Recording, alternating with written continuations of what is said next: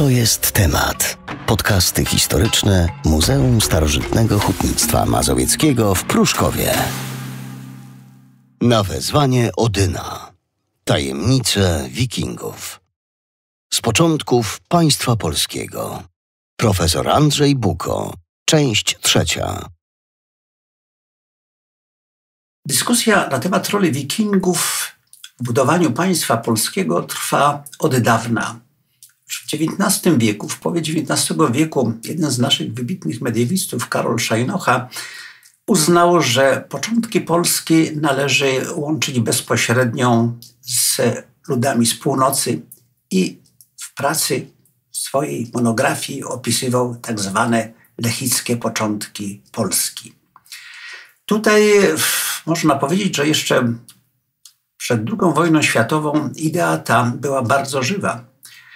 Mianowicie brano tutaj pod uwagę dokument Dagome Judex, w której Mieszko ofiarowuje swoje państwo stolicy Piotrowej i ze względu na to dziwne imię Dagome utożsamiano tegoż donatora, czyli Mieszka, ze Skandynawem o imieniu Dagr bądź Dagon, a zatem y, kimś, kto budował tutaj początki państwa, ale sam był Skandynawem. Można powiedzieć, że ta idea skandynawskich początków państwa zapładniała umysły wielu badaczy, pozostaje żywa do dziś, zarówno w, kwestii, w środowisku profesjonalnych badaczy, jak i również amatorów, zwolenników tzw. Tak Wielkiej Lechii. Tymczasem archeologia dostarcza nam świadectw, które troszeczkę innej perspektywie pozwalają nam spojrzeć na te kwestie. Mamy tutaj do dyspozycji dwie kategorie danych. Są to cmentarzyska i osady. Liczniejszą kategorię stanowią cmentarzyska. Mamy tutaj liczne przykłady odkryć, znalezisk, grobów, co do których istnieje przekonanie, przypuszczenie bądź przekonanie, że kryją one szczątki przybyszów z północy. Dodajmy, że geograficznie te przypuszczenia dotyczą kilku wybranych regionów: Pomorza, Kujaw i Wielkopolski. Nie ma natomiast tutaj punktów odniesienia, jeśli chodzi o Śląsk i Małopolskie. Te pochówki łączą się właśnie z okresem budowy państwa, z końcem X, z pierwszą połową XI wieku, a to, co je wyróżnia, to nie tylko odmienne elementy obrzędowości pogrzebowej, ale również uzbrojenie, które można łączyć ze środowiskiem Skandynawów oraz inne przedmioty znajdowane w grobach. No, najbardziej spektakularnym tutaj odkryciem jest e, omawiana przeze mnie wcześniej Bodzia, cmentarzysko w Bodzi, gdzie mamy e, w 50 grobach elitarnych z końca X, pierwszej połowy XI wieku szczątki 52 osobników, a zatem możemy powiedzieć, że e, jako całość łączy się ten cmentarz z czasami Mieszka i Chrobrego. Jest rzeczą też e, zastanawiającą, że spośród 14 przebadanych pochówków, mówię tutaj o badaniach izotopowych, tylko trzech spośród nich okazało się być miejscowymi. A zatem w zdecydowanej większości można rzec, że jest to cmentarz przybyszów.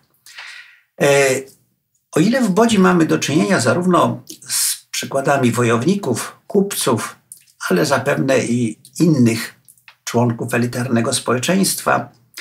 O tyle w przypadku cmentarzyska w Ciepłem interesujące są groby e, wojowników. Ten cmentarz odkryty już w 1900 roku, badany był również w naszym stuleciu i efektem tych badań jest między innymi siedem grobów komorowych ze szczątkami wojowników. Są tu liczne militaria, inne dary grobowe, paradna broń, oporządzenie końskie. E, badania wykazały, że są to wojownicy związani ze środowiskiem duńskim, co potwierdzają również wyniki badań genetycznych. Podobne w charakterze cmentarzysko dotyczące grupy wojowników, którzy pochowani są w centralnej części rzędowego cmentarza, e, pochodzą z Lutomierska pod Łodzią. Badania tutaj prowadzono w latach 40. XX wieku. Duży cmentarz, 133 groby, no i centralna aleja, gdzie mamy groby w obstawach kamiennych, 22 groby wojowników. To jest część cmentarza, które na żywo, zdaniem badaczy, ma liczne nawiązania do e, szwedzkiej Birki. No, od lat trwa dyskusja, czy byli to członkowie drużyny piastowskiej, czy byli to drużynicy Świętopełka, księcia kijowskiego, który wygnany z Kijowa znalazł schronienie na dworze Chrobrego i wraz ze swoimi drużynnikami tutaj osiadł. No, są to kwestie, które pobudzają wyobraźnię, ale można powiedzieć, nie mają ostatecznego rozstrzygnięcia. E, zdecydowanie mniej mamy stanowisk osadniczych. Tutaj wyróżniające miejsce na mapie ziem polskich zajmuje niewątpliwie Wolyn.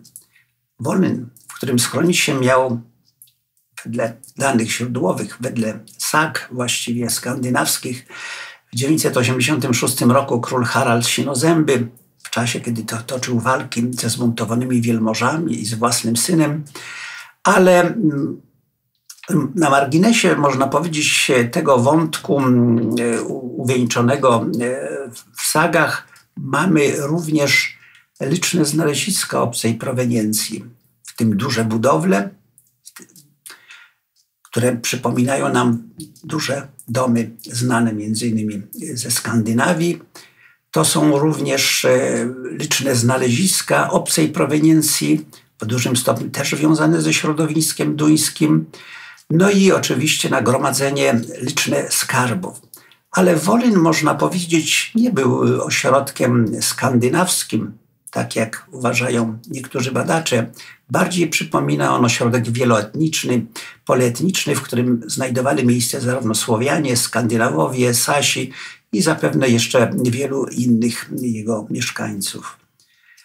E, po stronie zachodniej mamy bardzo interesujący również taki e, zespół osadniczy określany mianem Bardy Świelubie. Chodzi tutaj o grupę kurhanów, ale chodzi również ogród, który się tam znajduje. Przypuszcza się, że jest to miejsce, w którym znalazła swoje siedziby grupa osadników, Skandynawów, pochodzących ze środkowej Szwecji. Na to wskazują elementy rytuałów pogrzebowych pochodzące stamtąd znaleziska, no i oczywiście sam fakt osadzania się na południowej części Bałtyku przybyszów skandynawskich. Tutaj można powiedzieć, że późniejszym etapem rozwoju tego skupiska osadniczego to jest oczywiście e, Kołobrzeg e, Budzistowo. E, mamy też bardzo ciekawe znaleziska dotyczące, co prawda, cmentarzy, ale które nie zawierają grobów osobników. Przykładem może, mogą być tutaj odkrycia Skaudusa, gdzie mamy duży cmentarz rzędowy, ale również znajdują się tam groby komorowe, e, które datowane są na okres też już od drugiej połowy X, początek XI wieku, przypominające e, podobne groby, grobowce znane ze Skandynawii. Zarówno forma grobów, jak i ich wyposażenie wskazuje na to, że mogli być tutaj chowani osobnicy e, e, związane ze środowiskiem skandynawskim, czy też północno-zachodniej Europy, ale brakuje uzbrojenia w grobach. Niektóre groby sprawiają wrażenie, że są grobami rodzinnymi, mieszanymi, byśmy powiedzieli takimi słowiańsko-skandynawskimi. Czy byli to przybysze? Zapewne część z nich tak. A jeżeli tak, no to forma grobu wskazuje, że byli to zapewne członkowie elit piastowskich. To, o czym tutaj wspomniałem, są to oczywiście odkrycia z początków państwa polskiego. One są, pojawiają się w okresie intensyfikacji kontaktów zewnętrznych, e, różnego rodzaju e, powiązań z krajami Europy Północnej i Zachodniej, w tym ze Skandynawią. Mamy na tych cmentarzach zarówno poświadczone no, obecność grup przywódców, wojowników, kupców, członków ich rodzin, a zatem można powiedzieć e, zróżnicowanych przedstawicieli ówczesnych elit. Pozostawali oni zapewne w służbie naszych pierwszych władców, Mieszka i Chrobrego i wraz z miejscowymi tworzyli elity ówczesnego państwa. Jest to zatem szersze zjawisko europeizacji lokalnych społeczności, zaczątki tworzenia nowego elitarnego społeczeństwa. I stąd to nie, nie można zatem chyba powiedzieć, że to wikingowie tworzyli początki państwa polskiego, ale składali się, można powiedzieć, podobnie jak to miało w innych również państwach, na tą barwną mozaikę etnokulturową, co nie było tutaj żadnym wyjątkiem. Podobne bowiem procesy dotyczą wielu innych krajów naszego kontynentu, w tym naszych sąsiadów. To jest temat. Podcasty historyczne Muzeum Starożytnego Hutnictwa Mazowieckiego w Pruszkowie.